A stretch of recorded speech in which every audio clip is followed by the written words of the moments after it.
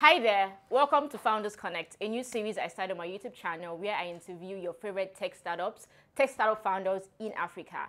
I started this series because I'm very interested in tech ecosystem, the founders of co-founders of startups who are making products that actually solve real problems for each of us. I want to know who they are, learn about their journey, and also learn about the products or the businesses that they're actually building. So this is what I'm doing on Founders Connect. Today I'm going to be interviewing Nadayar, who is the co-founder of Andela and also co-founder of Eden Life.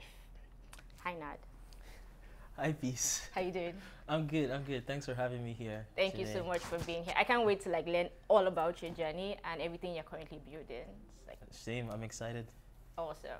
Welcome to my YouTube channel. I'm Peace Itimi, a change maker, professional, and creative who is passionate about growing people and growing businesses. Like, comment, subscribe to my channel, and please always share my videos. It promises to always be impactful and insightful. Um, I'm going to start with cliche question. Just tell me about yourself in like five words. If you say who is Nadayar? one, two, three, four, five. Five words. Five words. That describes like your essence, who you are. That, okay. Um. Good vibes. Good vibes. That's two words already. I'll count it as one. That's okay. one phrase. All right. Good vibes, and technology, music. Mm. Um. I want to say art. What kind of art? Just any kind of art. I just like seeing people make things. Ah, you know? right. And uh, hmm, what else? Just one more. One more. It's friends. I like I like hanging out You're with friendly. friends. Yeah, yeah. I'm nice. a friendly person. So good vibes, tech, music, act, and friendly. yeah. Nice. Do you remember your first um, introduction into tech? Like the first time you really saw me like a computer or you coder, and you're like, oh my god, this is awesome. Yeah. Um.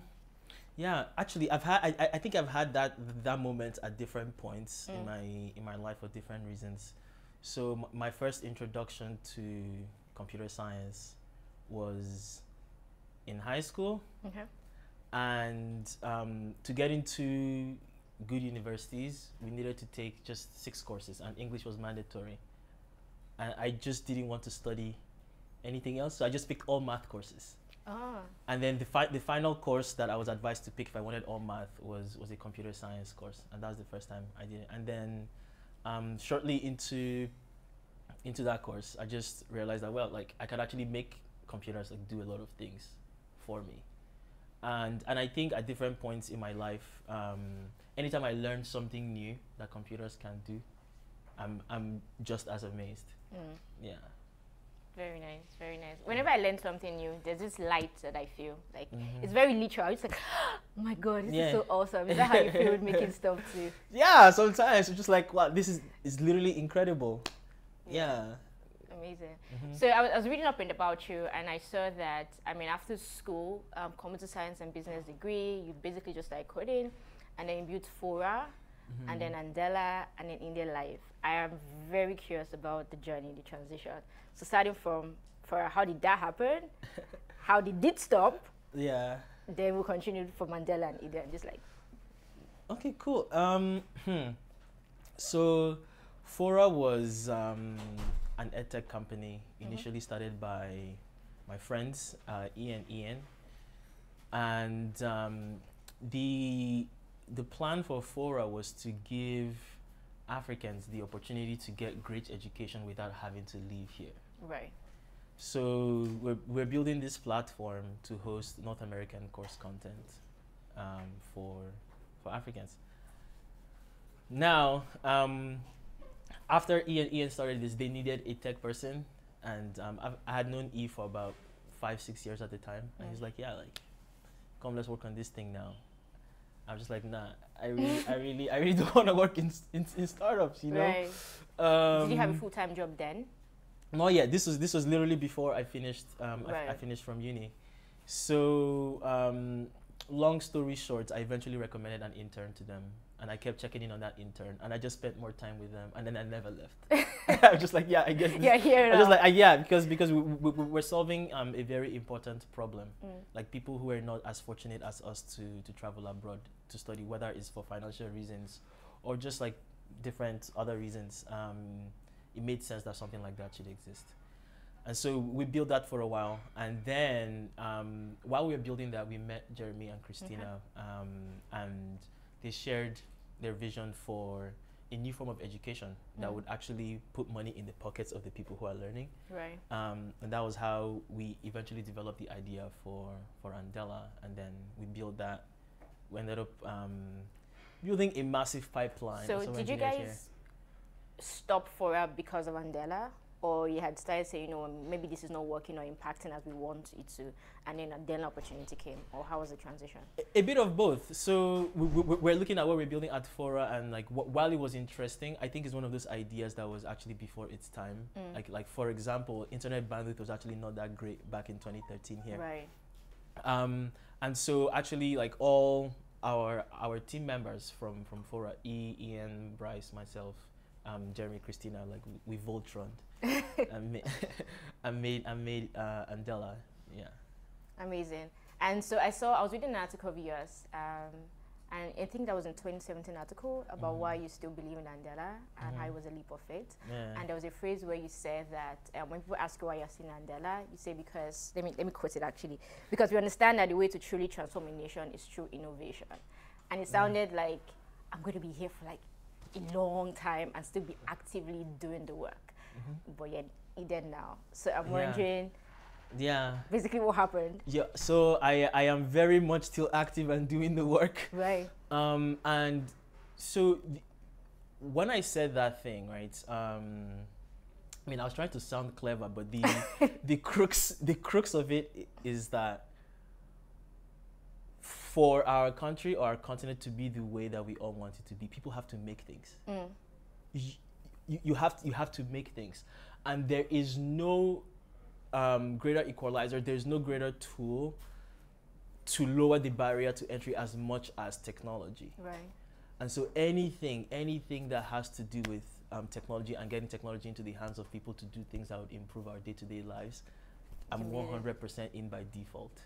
And so with Andela, we ended up building. Um, so I led, I led, I led the um, learning and training. learning team. and and training team yeah and the learning infrastructure that we built has powered the learning of over 1500 engineers at andela Mm. and then even more than 80000 people outside of andela through our andela learning community and like that is a machine that is that is going to keep running um, andela is going to literally be the biggest engineering talent platform in the world period yeah yeah like it's just it's It's just what it is. it, it is inevitable and having having set that up and like i know that this thing is, is, is going to be running on autopilot i figured what else can we do in our immediate environment like if i if i consider my life's mission to be 10xing the quality of life here Mm. Then what are what are all the things that make our life here difficult and one huge one is the way we receive domestic services yeah so um, that is when we decided to build um, eden life prosper Silm and i Interesting. Mhm. So it means you're going to keep building stuff. Forever till I die. That's, that's, that's such an amazing insight. Yeah. Right. So you build and we start working and like, okay, there's another problem that I need to solve to make it the kind of life I want to live. Yeah, like, like you know, I think there is a problem need to finish. Like yeah, both personally and And everywhere. and everywhere. Interesting. So, but Eden was your idea, right? Um, you when you came back in 2014, and if you figured, oh my God, Lagos is such a shitty place. Terrible. And what can I do to improve it? um, how did you know, or when did you decide that you were going to do it with Prosper and Silm, and why? Okay, um, so sometime sometime in late 2018, um, all three of us, so Prosper Silm and I worked and lived together Mm. at different points in time, and you know, something unique about both Prosper and Silm is that they they are two of the most talented technologists in Mm. our ecosystem. Like Prosper is an incredible um, Yeah. engineer and developer. Silm is an incredible product designer and product person. both of them could leave Nigeria today Mm. and get like the best paying tech jobs in the world. But for some reason, um, while a bunch of our other friends and colleagues um, were migrating or looking for ways to migrate, they still remained bullish on living here. Mm.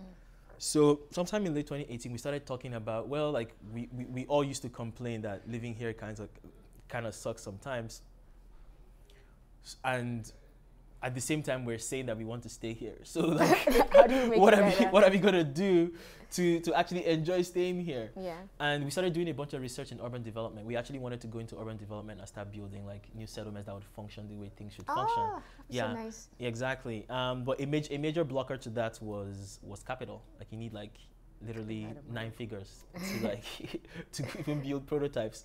So um, we we flipped the question around and we asked, well, if if we're trying to, you know, make life easier and more enjoyable here, and hard infrastructure is needed and a new kind of soft infrastructure is needed, can Mm. we start building the soft infrastructure today? Mm. and that's how we just decided that we're going to focus on domestic services and building the platform to automate that for people. Interesting. Mm-hmm. Interesting. So, what has been your biggest lesson so far, both as an Andelan and Mm-hmm. now being the CEO of another startup? So, you've gone from CTO to co-founder and director of training to now CEO. Yeah. At each step, what did you learn that was really pivotal for each of the role? Hmm. Um. That's a great question. uh, so, yeah, I would say um, the biggest thing that I, learned I, I learned in my in my transition from being like more the person just like building technology Mhm. to the person who is enabling others learn how to build technology was learning how to be very clear Mm. about how to transfer mental models. Mm. For example, like you know you know marketing so well. Like there's so there's so many things that you would do intuitively without thinking Yeah. about it. And so if you if you met someone today who wanted to learn marketing, you would have to go really deep to like bring those things And out break it and, down. and present it in a way that that person can understand. Yeah.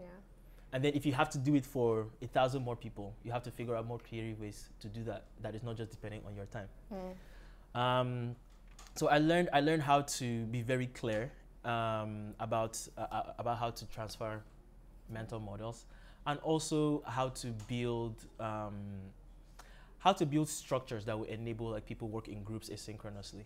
Mm. Um, so I would say that was the big the big um, transition there. And now from doing that to being CEO, um,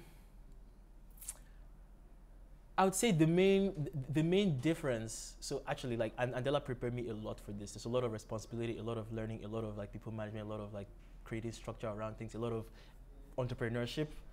Um, but now the main thing that's different is I worry about money.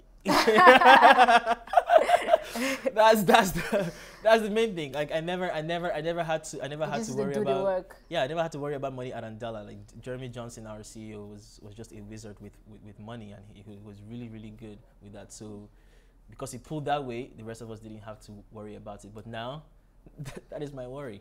So I think I think of my job today as um, three main things. It's like making sure the vision is clear to everybody, Mm. making sure we have the right people, the right Mm. team, and then making sure we have money in the bank to keep doing what we have to do. Interesting. So making sure the vision is clear comes from your learning from Andela, just being able to transfer mental models, Yes. right? Um, hiring. What's your hiring philosophy? How do you get the best people on your team? How do you poach the best people to your Poach. team? Well, um, I think first and foremost, to to hire well, you need to have a compelling vision. I Mm. think I think a compelling to hire good people because at the end of the day, what do good people want? First and foremost, good people want to work with other good people. Yeah. good people want to work with other good people, and and good people know that their time is expensive, Mhm. so they want to spend their time doing things that are worthwhile. Mm. Um, so I would say first and foremost, like it's very it's very important for us to make sure that our vision is clear, and then we we, we share that vision indiscriminately. Mm. And we pay attention to the people who are attracted to it. Um, sometimes we compel people to be attracted to it. um, but what I, I would say in general, we look for people who have good energy. Good We- we- vibes. yes, and, and good vibes only. Um, you don't want bad vibes in your company. Um, we look for people who have good energy. We look for people who are good at what they do, and then we also look for people who are hungry. Mm. Like people who, yeah, you're you, you you are good at what you do, but you recognize that there are levels to this shit. Like you know, there there's so many things to learn. There's so many things to do. There's so many things to achieve. So we look for those kinds of people. Interesting. Yeah. So, I mean, Nigeria has been so tough this year. And I pity all the CEOs that have had to motivate and motivate and motivate people from coronavirus to EndSARS. It's like, we've had it.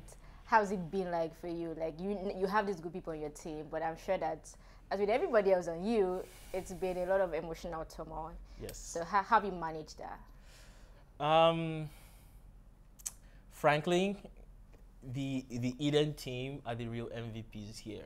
Like they they have been such troopers because even um, when when the coronavirus lockdown actually hit, I wasn't here.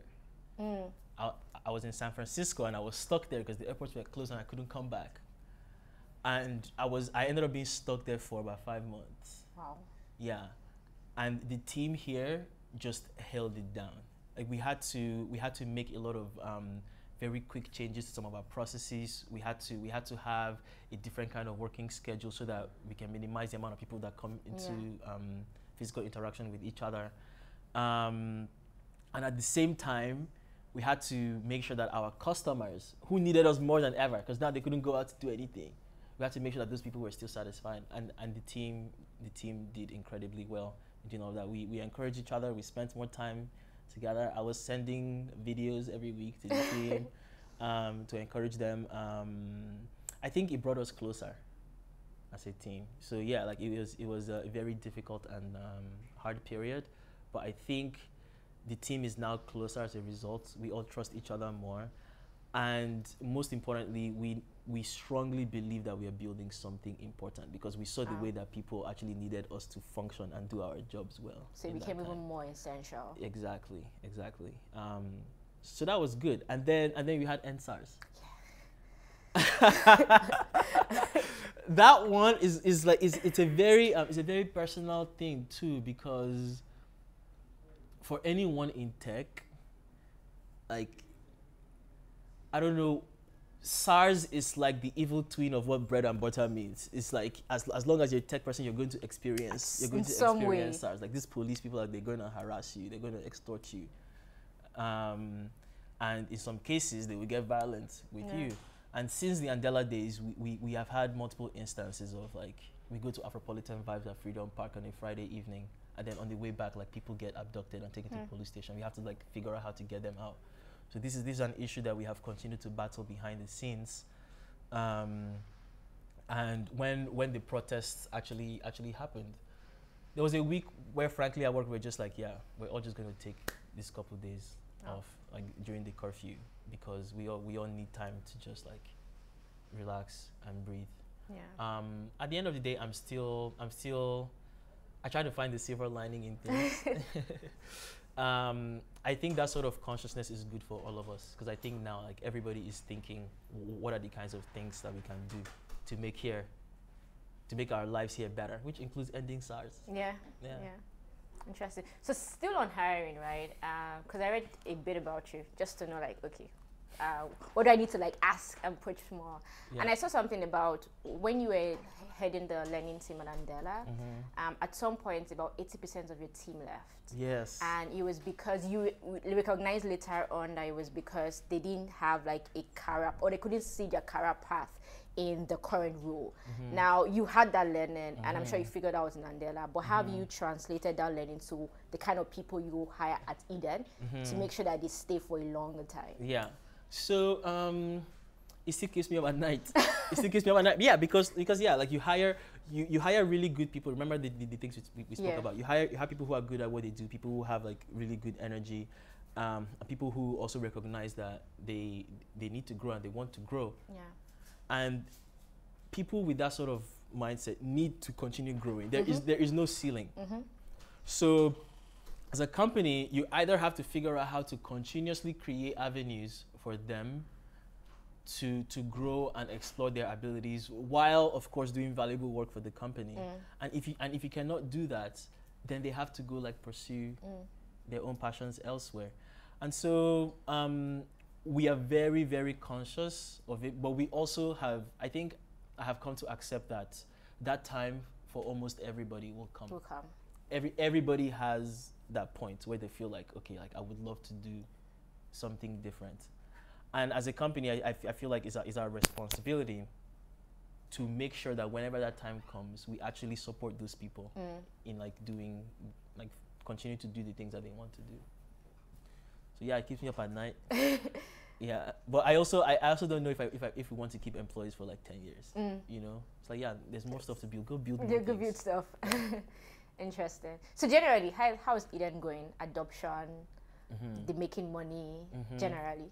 Yeah okay well um i'd say we are we are pre-product market fit Mm. Okay. um for for people watching i'll just summarize what what eden is Yes. So we we are the one place where you can get all your domestic services. Mm. So currently um, on Eden, you can get your food, your cleaning, your laundry, and in the future we're going to keep stacking on more services. Right. Basically, we will get to the point where for anything that has to do with your home, you can get all of those services with a click of a button. And the services that you get are going to be reliable, they're going to be of high quality, and they're going to be safe. Yeah. Yeah. Um, and the way Eden works is on a recurring schedule. So if, if you signed up for Eden today and you wanted food, laundry, and cleaning, our tech would automatically generate a schedule of services for you for the rest of the year. And like every Monday, your food shows up, your laundry bag gets picked up, your laundry bag gets returned So to you So you. don't have to 48 hours worry about it. you just set it and forget it, literally. Yeah. Um, so, as you can imagine, it's pretty novel. Yeah. Um, and so people people are we have noticed that people are starting to talk about Eden a lot. Like we get mentioned on Twitter every every once in a while. And then when people are signing up and they realize that it's a monthly subscription and they have to pay monthly. But nobody in the history of Nigeria has ever paid for their food on the first day of the month for the rest, For the of, the month. of the month. Um, and uh, so, so I think I think the idea is still in in, in its early um, phases, um, and I would say on the on the business side we're also learning a lot. Right. because initially when we started, what we wanted to build was just this platform that was going to is basically a customer experience layer, like all the scheduling, all the coordination of the services, all the feedback management, all the quality assurance, which is going to be handled by, by Eden, while the actual services are delivered by third party businesses. Right. Um, we have come to realize that the bar here is really low. the bar here is really low, and and it is not because people want to set a low bar. It is it, it's it is, it it is is. because That's yeah, it's to. because people do not have either the right training or the right expectation setting, or they don't have the right tools and equipment, right? Right. And like if, you, if you're a small business, you're trying to worry about how you're going to get customers, you're worrying about how you're going to finance your business, you're worried about how you're going to pay employees. Like there is so much. So there's no ecosystem that supports a lot of these smaller businesses. So as a result of that, we realized that for people to get those services in, in a reliable, high quality, and safe way, we have to actually get involved Right. in how these services get delivered. so you have to start cooking. You have to start doing. In some cases, in some cases, we have to manage the, the whole thing from end to end. Um, as in the case of food, we're actually in the in the middle of setting up a an amazing food operation. It's actually good. Chop I, life. I can't wait. Yeah, it's, it's going to be incredible. Yeah, we've been testing for the last two months. It's going to be incredible. But for things like cleaning and for things like laundry, we're still we're still um, exploring how how we can get involved in raising the bar of the services without also like getting too much in the weeds where we now have to like run different companies under one company. But we'll see how, how it evolves.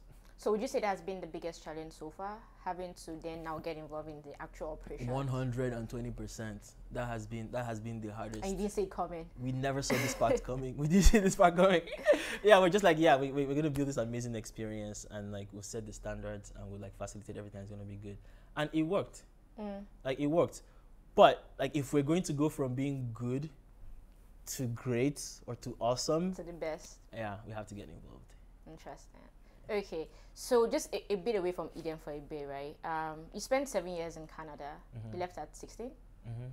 right? How did that seven years shape who you are today? Oh, huge, huge. Um, I made so many friends. I learned so many things. I explored so many different cultures.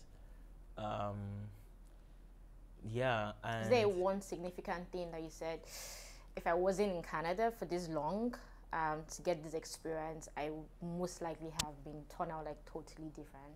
Oh, absolutely. So um, I, I I went to the University of Waterloo in Canada. It's like the best engineering school there.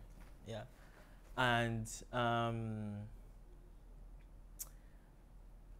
I would say that was the turning point Mm. because I mean um, BlackBerry was founded by a Waterloo alumni. Okay. Yeah, and a bunch of a bunch of other interesting companies. So it was a very entrepreneurial school. Mm. The if you were in engineering or if you're in computer science, which I was in, and you go to Waterloo, like it is almost expected that you That you would- start that you will start something. Yes, and even if you didn't want to start something, you're around a lot of people who are starting things or thinking about starting things, and I think it just unlocked a whole nother level of what I believed was possible. Because like sometimes, sometimes when you see people build amazing things, you, you forget that they're also people just like you. Mm. You forget. And then when, when you're actually in the same rooms with those people and you realize that, hold up, this person gets hungry, this person eats, this person sleeps, this person like does everything that I do as a human being. The only difference is one day they decided they're gonna start something. Mm. I think it unlocks a whole realm of possibility. So I would say that was like a massive moment.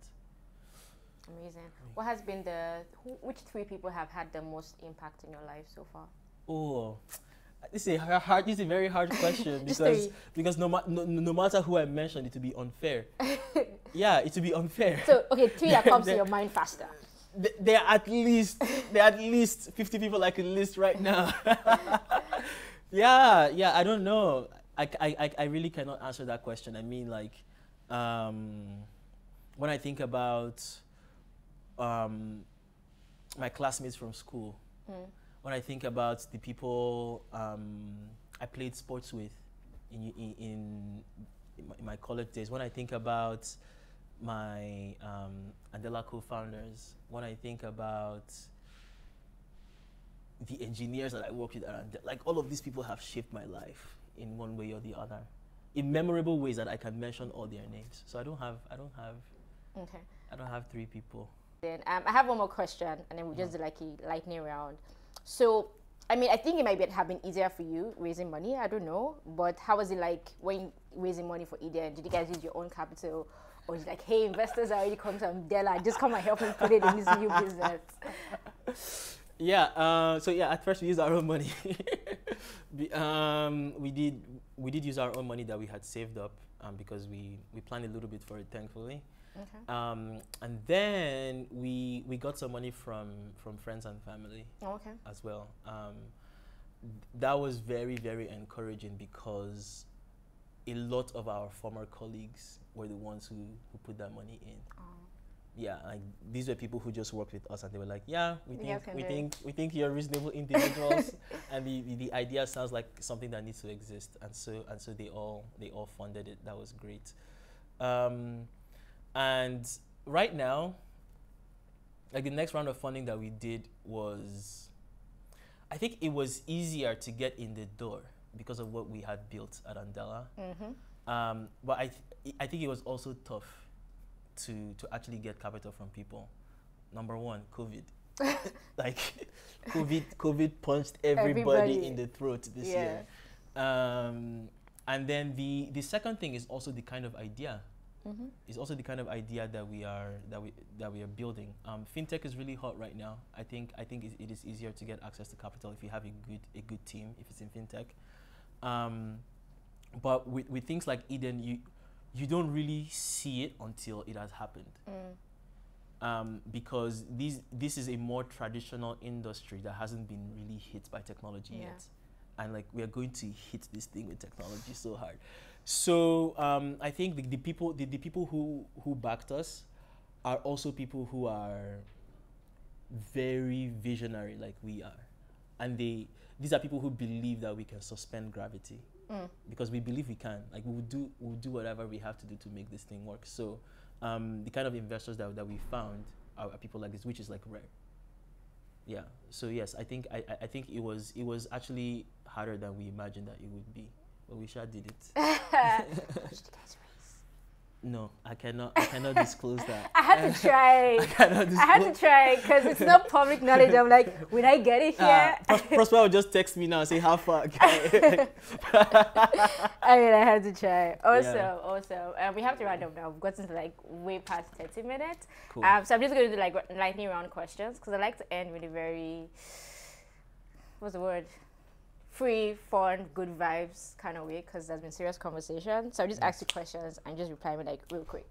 okay. like Favorite one color? Sentence. Favorite color. it's not supposed to be I don't have one. Yeah, that's an answer. Yeah. Okay. Favorite okay. city? You don't have one too. No, I don't have. I just like everywhere. Just like, So there's no, so there's no one place you're like, oh my god, I think I want to visit here every other year. no. You just want to like keep going to like. As long as my friends are there, I'm down. I'll go there. Okay, is there somewhere that you want to travel to that you haven't been to yet? Yes, China, Why? because a really good friend of mine, Hope, lives there, Friends. and I, and I haven't I haven't seen him in a while. Yeah. Oh, so when you're not working, what are you doing? Um, play music. I play the bass guitar. Are you going to release another mixtape soon? Um, like five year anniversary. I would I would love to. I would love to. Yeah. If you know any other artists looking to co-create, I, I would love to meet them. cool. Um, do you do cereal before milk or milk after cereal? Are you a cereal killer? I'm lactose intolerant. I don't eat cereal. safe, safe, safe answer. awesome. There's no coming back from that. So I'm just ending here. Do you have any last words for my listeners? And more importantly, people who want to solve problems like you want to solve problems, like upcoming entrepreneurs. Last words. Um, yeah, well, I mean, thank you, thank you for for listening to us today, and just just keep building, just keep building things, just keep making things. Like everything that we see in the world, we met it here, and Mm. most most of these things people put them here, and so we can also put stuff here that will make lives better for everybody. So, just do that. So keep making things. Keep making things. Amazing. It was mm. such a lovely conversation with you, Nad. Thank Thanks. you for, first of all, granting me this access to sit down with you and then really honestly answering my questions. I have really learned a lot, and I'm sure you guys have too. So, and if you watch this video to the end, you are such an MVP. I'm so glad to have you on my channel. Remember to subscribe if you haven't yet, and there's a bell notification button. Click on it so the next time I have a video with another tech founder or, or all of my other videos, you'll be one of the first to know. Thanks again for being here. Peace out.